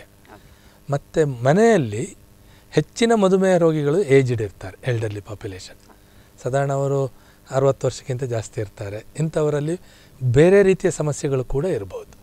ಅವರಿಗೆ ಗಂಟಿನ ಸವೆತ ಇರ್ಬೋದು, ಬೆನ್ನು ನೋವು ಇರ್ಬೋದು, ಕಣ್ಣಿನ ಸಮಸ್ಯೆ ಇರ್ಬೋದು, ಬೇರೆ ಬೇರೆ ರೀತಿಯ ಸಮಸ್ಯೆಗಳೆಲ್ಲ ಇರ್ತದೆ. ಅದೆಲ್ಲವನ್ನು ಕೂಡ ನಾವು ಮನ, ಅವರಿಗೆ ಚಿಕ್ಕ ಮನೆಯಲ್ಲಿ ಆರೈಕೆ ಹೇಳುವಾಗ ಈ ಎಲ್ಲ ಅಂಶಗಳನ್ನು ನಾವು ಗಣನೆಗೆ ತಗೊಳ್ಬೇಕಾಗ್ತದೆ. ಪಾದದ ಆರೈಕೆಯಲ್ಲಿ ಒಂದನೇದಾಗಿ ಅವರು ಆ ಸ್ಕಿನ್ನನ್ನು ಯಾವಾಗಲೂ ಡ್ರೈ ಆಗಲಿಕ್ಕೆ ಬಿಡಬಾರ್ದು. ಮಾಯಶ್ಚರೈಸಿಂಗ್ ಕ್ರೀಮನ್ನು ರೆಗ್ಯುಲರ್ ಆಗಿ ಬೆಳಿಗ್ಗೆ ಮತ್ತು ಸಂಜೆ ಎರಡು ಬಾರಿ ಹಾಕ್ಕೊಳ್ಳುವಂಥದ್ದು ಬಹಳ ಮುಖ್ಯ. Skin health is very very important ಅದು ಒಂದು ಇನ್ಸ್ಟ್ರಕ್ಷನ್ಸನ್ನು ಅವರಿಗೆ ಕೊಡ್ತೇವೆ. ಎರಡನೇದಾಗಿ ಮಾಶ್ಚ ಒಂದು moisturising screen second one suppose ಇವಾಗ ಅವರಿಗೆ ಸ್ಪರ್ಶಜ್ಞಾನ ಕಡಿಮೆ ಉಂಟು. ಈ ಬಿಸಿ ನೀರು ಇದರ ಬಗ್ಗೆಲ್ಲ ಬಹಳ ಜಾಗ್ರತೆ ಇರಬೇಕು. ಹೆಚ್ಚಾಗಿ ನಾನು ಆರಂಭದಲ್ಲಿ ತಿಳಿಸಿದ ಹಾಗೆ ಸ್ಪರ್ಶಜ್ಞಾನ ಕಡಿಮೆ ಇರುವಾಗ ಅವರಿಗೆ ಬಿಸಿ ನೀರು ಎಷ್ಟು ಯಾವ ಟೆಂಪರೇಚರಿನ ನೀರನ್ನು ಹಾಕಿದರೂ ಕೂಡ ಅವರಿಗೇನು ಗೊತ್ತಾಗೋದಿಲ್ಲ ಅವರು ಮತ್ತೆ ಬ್ಲಿಸ್ಟರ್ ಬಂದ ನಂತರವೇ ಗೊತ್ತಾಗುವಂಥದ್ದು. ಬಕ್ ಇದು ಸುಟ್ಟ ಇದು ಬಂದ ನಂತರವೇ ಅವರಿಗೆ ಗೊತ್ತಾಗುವಂಥದ್ದು. ಆದ್ದರಿಂದ ಅವರು ಪಾದವನ್ನು ಎಲ್ಲಿಯಾದರೂ ಇಟ್ಕೊಳ್ಬೇಕು ನೀರಿನಲ್ಲಿ ಇಟ್ಕೊಳ್ಬೇಕು ಅಂತ ಹೇಳಿದರೆ ಉಗುರು ಬೆಚ್ಚದ ನೀರಂತ ಲ್ಯೂಕಾರ್ ವಾಟರ್ ಅಂತ ಹೇಳ್ತೇವೆ. ಅದನ್ನು ಕೈಯಲ್ಲಿ ಚೆಕ್ ಮಾಡಿ ಆ ಟೆಂಪರೇಚರನ್ನು ಅವರು ಸರಿಯಾಗಿ ನೋಡಿ ಉಗುರು ಬೆಚ್ಚಗಿನ ನೀರನ್ನು ಮಾತ್ರ ಪಾದದಕ್ಕೆ ಇಟ್ಟರೆ ಅದು ಸ್ಕಿನ್ ಒಂದು ಏನಾದರೂ ಡಸ್ಟ್ ಇದ್ದರೆ ಅಥವಾ ಸಾಮಾನ್ಯವಾಗಿ ರಕ್ತ ಸಂಚಾರ ಜಾಸ್ತಿ ಮಾಡಲಿಕ್ಕೆ ಅದು ಹೆಲ್ಪ್ ಆಗ್ತದೆ. ಮೂರನೆಯದಾಗಿ ಬೆರಳುಗಳ ಮಧ್ಯದಲ್ಲಿ ಯಾವಾಗಲೂ ನೋಡಬೇಕು. ಬೆಳಿಗ್ಗೆ ರಾತ್ರಿ ಮಲಗೋ ಮೊದಲು ಬೆಳಿಗ್ಗೆ ಇದೆಲ್ಲ ಒಂದೊಂದು ತರ್ಟಿ ಸೆಕೆಂಡು ಒನ್ ಮಿನಿಟ್ ಸಾಕಾಗ್ತದೆ. ಒಮ್ಮೆ ಅವರು ಪ್ರಾಕ್ಟೀಸ್ ಮಾಡಲಿಕ್ಕೆ ಸಹ ಆರಂಭ ಮಾಡಿದರೆ ಹೆಚ್ಚು ಸಮಯ ಅದು it becomes a part of their lifestyle ಆಗ ಅವರಿಗೇನು ಸಮಯ ಬೇಕಾಗುವುದಿಲ್ಲ ಒಂದು ನಿಮಿಷ ಎರಡು ನಿಮಿಷದಲ್ಲಿ ಇದೆಲ್ಲವನ್ನು ಮಾಡಲಿಕ್ಕೆ ಆಗ್ತದೆ. ಮತ್ತು ಬೆಳಿಗ್ಗೆ ಎದ್ದ ಕೂಡಲೇ ನಾನು ಹೇಳಿದಾಗೆ ಮಿರರನ್ನು ಇಟ್ಟು ಕಾಲನ್ನು ಹೀಗೆ ಮಡಚಿ ಅವರು ಆ ಪಾದವನ್ನು ಒಮ್ಮೆ ನೋಡಿಕೊಳ್ಳುವಂಥದ್ದು ಒಳ್ಳೆಯದು ನಡೆದಾಡುವ ಮೊದಲು ನಡೆದಾಡುವ ಮತ್ತು ಯಾಕಂದರೆ ಕೆಲವು ಟೈಮ್ ಹಳ್ಳಿಯಲ್ಲಿ ನಾವು ಸಿಮ್ ಕೆಲವು ಪೇಷಂಟ್ಸನ್ನು ನೋಡಿದ್ದೇವೆ ನೈಟ್ ರ್ಯಾಟ್ ಬೈಟ್ ಇರ್ತದೆ. ಅವ್ರಿಗೆ ಗೊತ್ತಾಗೋದಿಲ್ಲ ಅದೇ ಸ್ಪರ್ಶಜ್ಞಾನ ಇರುವುದಿಲ್ಲ ನೋವು ಇರುವುದಿಲ್ಲ. ಬೆಳಿಗ್ಗೆ ನೋಡುವಾಗ ದೊಡ್ಡ ಗಾಯ ಇರ್ತದೆ. ಅದನ್ನು ಅವರು ಇಗ್ನೋರ್ ಮಾಡಿದರೆ ಮುಂದೆ ಸಿವಿಯರ್ ಇನ್ಫೆಕ್ಷನ್ಸ್ ಆಗಿ ಮತ್ತು ಕಾ ಕಾಲನ್ನು ಕೆಲವು ಸಮಯದಲ್ಲಿ ಕಳ್ಕೊಳ್ತಾರೆ ಎಸ್ಪೆಷಲಿ ನಾನು ಹಳ್ಳಿಯವರ ನೆಲದಲ್ಲಿ ಮಲಗುವವರು ಇಂಥವರಿಗೆ ಅದು ಗೊತ್ತಾಗೋದಿಲ್ಲ. ಅಂಥ ಸಮಯದಲ್ಲಿ ಕೂಡ ಅವರು ಚೆಕ್ ಮಾಡಬೇಕಾಗ್ತದೆ. ಮತ್ತು ದಿನದ ಕೆಲಸ ಅವರು ಯಾವ ರೀತಿಯ ಕೆಲಸದಲ್ಲಿರ್ತಾರೆ ಅವರು ಈಗ ಫಾರ್ಮರ್ಸ್ ಇರ್ಬೋದು ತೋಟದಲ್ಲಿ ಕೆಲಸ ಮಾಡುವವರು ಇರ್ಬೋದು ಬೇರೆ ಬೇರೆ ಕೆಲಸ ಇದರಲ್ಲಿ. ಆದರೆ ಫುಟ್ವೇರ್ ಮತ್ತು ಹೊರಗಡೆ ಹೋಗುವಾಗ ಸಾಕ್ಸನ್ನು ಹಾಕ್ಕೊಳ್ಳುವಂಥದ್ದು ಒಳ್ಳೆಯದು. ಹಾಗೆ ಹೆಚ್ಚಿನ ಡಸ್ಟು ಅಥವಾ ಧೂಳನ್ನು ಕಾಲಿಗೆ ಬರದೇ ಇರುವಾಗ ಇನ್ಫೆಕ್ಷನ್ಸನ್ನು ತಡೆಗಟ್ಟಲಿಕ್ಕೆ ಸಾಧ್ಯ ಆಗ್ತದೆ. ಮತ್ತು ಮುಖ್ಯವಾಗಿ ನೈಲ್ ತೆಗೆಯುವಾಗ. ಇದು ಬಹಳ ಮುಖ್ಯ. ಹೆಚ್ಚಾಗಿ ಏನಾಗ್ತದೆ? ಬ್ಲೇಡಲ್ಲಿ ತೆಗಿತಾರೆ. ತೆಗೆಯುವಾಗ ಇಲ್ಲಿ ಅದು ಸೈ ನೈಲ್ ಬೆಡ್ ಗಾಯ ಆಗ್ತದೆ. ಆ ನೈಲ್ ಬೆಡ್ ಇನ್ಫೆಕ್ಷನ್ಸ್ ಮತ್ತೆ ಜಾಸ್ತಿಯಾಗಿ ಅದನ್ನು ಹೋಮ್ ರೆಮಿಡಿ ಅಥವಾ ಮನೆಯದೇ ಮದ್ದನ್ನು ಮಾಡ್ತಾರೆ. ಕಡಿಮೆ ಆಗದಿದ್ದಾಗ ಆಸ್ಪತ್ರೆ ಬರ್ತಾರೆ. ಅದರಿಂದ ಉಗುರು ತೆಗೆಯುವಾಗ ಬಹಳ ಜಾಗ್ರತೆ ಇರಬೇಕು. ಗಾಯವನ್ನು ಮಾಡ್ಕೊಳ್ಬಾರ್ದು?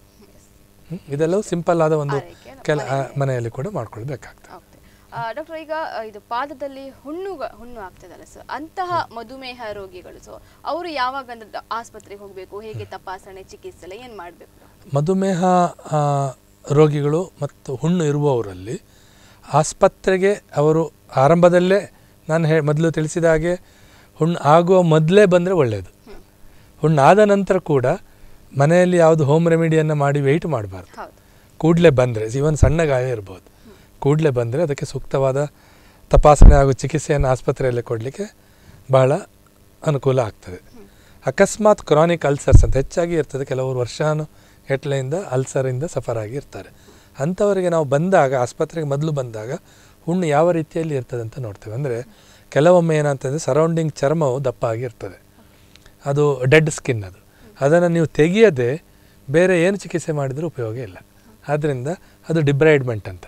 ಡಿಬ್ರೈಡ್ಮೆಂಟನ್ನು ಮಾಡಬೇಕಾಗ್ತದೆ ಆರಂಭದಲ್ಲಿ. ಡಿಬ್ರೈಡ್ಮೆಂಟ್ ಮಾಡಿ ಆ ಹೆಲ್ದಿ ಟಿಶ್ಯೂವನ್ನು ಸ್ಕಿನ್ನಿನ ಸರೌಂಡಿಂಗ್ ಅಥವಾ ಗಾಯದ ಸರೌಂಡಿಂಗ್ ಏರಿಯಾಕ್ಕೆಲ್ಲ ಹೆಲ್ದಿ ಟಿಶ್ಯೂವನ್ನು ತರುವುದರಿಂದ ಅದು ರಕ್ತ ಸಂಚಾರವನ್ನು ಹುಣ್ಣಿಗೆ ಜಾಸ್ತಿ ಮಾಡಲಿಕ್ಕೆ ಸಹಾಯ ಆಗ್ತದೆ.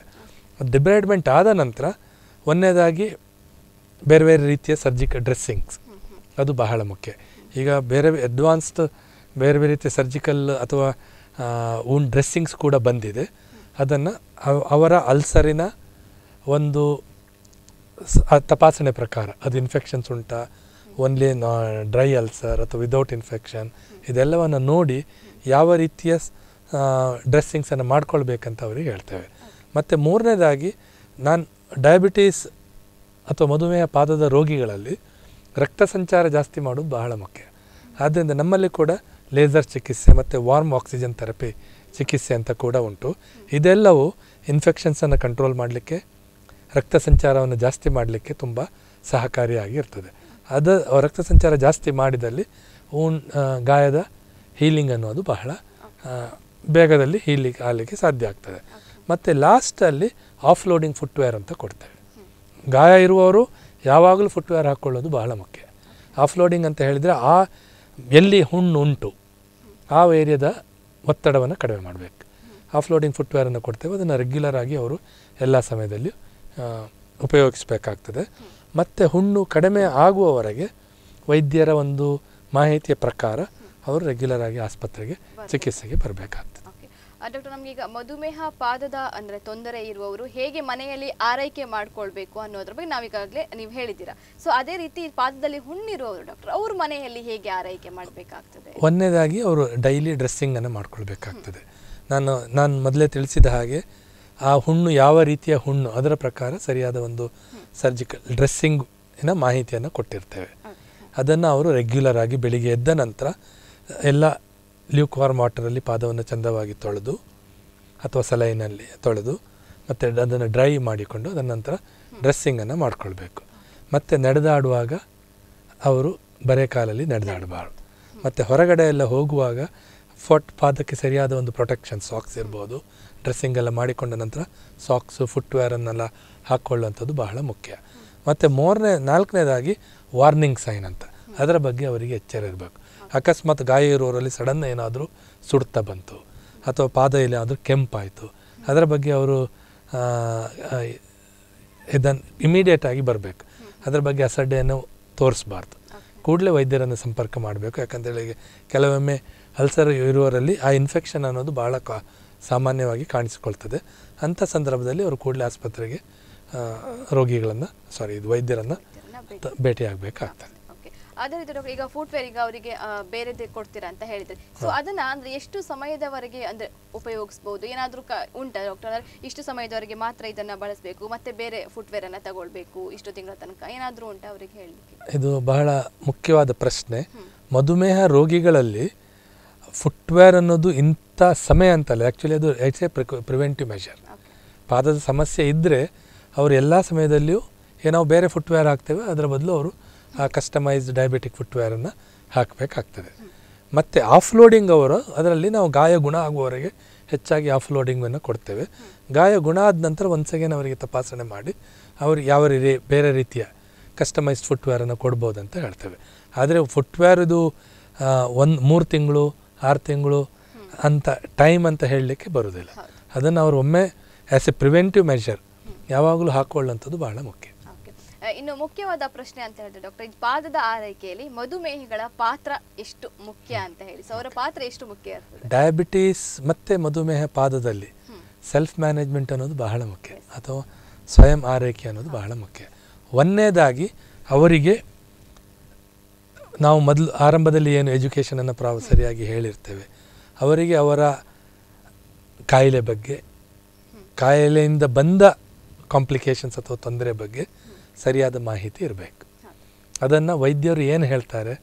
ಅದನ್ನು ಸೂಕ್ತವಾಗಿ ಅವರು ಫಾಲೋ ಮಾಡಬೇಕು. ಇದು ಬಹಳ ಮುಖ್ಯ. ಎರಡನೇದಾಗಿ, ಮಧುಮೇಹಕ್ಕೆ ತಪಾಸಣೆ ಇರ್ಬೋದು. ಮಧುಮೇಹದ ತೊಂದರೆಗಳು. ಇದು ಬೇರೆ ಬೇರೆ ತೊಂದರೆಯನ್ನು ನಾನು ಹೇಳಿದ್ದೇನೆ. ಕಣ್ಣಿರ್ಬೋದು, ಹೃದಯ ಇರ್ಬೋದು, ಪಾದ ಇರ್ಬೋದು.